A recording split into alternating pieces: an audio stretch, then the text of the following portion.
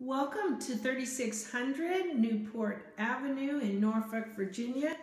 I'm going to start out in the kitchen here. This is a two bedroom, one bath. Looks like we have tile throughout except where we have laminate, so there's not a stitch of carpeting in the joint. We've got a full bath, vanity, a mirror, and as we swing around the corner here, this is your living room it's got window units, which are in the unit, and then we have baseboard heat.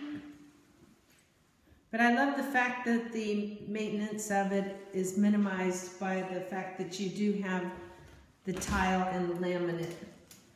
You've got a coat closet in the entryway.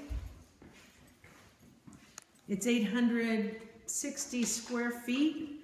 You got another coat closet in here. And you do have a lot of cabinets in the kitchen.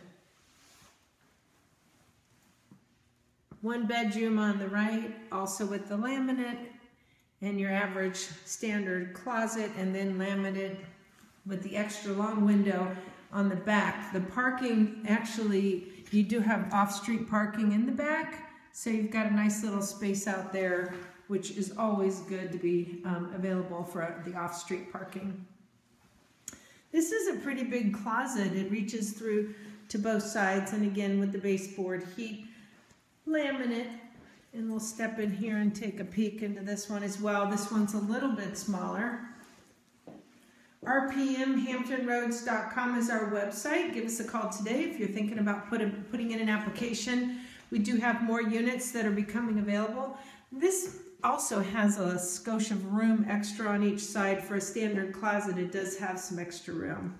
But let me know if you're thinking about um, moving forward with your application and we can help you right away.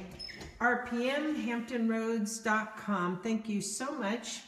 Hope you're having a great day. Look forward to hearing from you. And one last look and a swing around for spacing with the kitchen, the tile, and again, you've got your own um, parking spaces outside, which is great. Super close to Norfolk Naval Base if you're coming out from that area. And we do have some upstairs and some downstairs units that are coming available. Thank you so much. I hope you're having a great day. Bye-bye.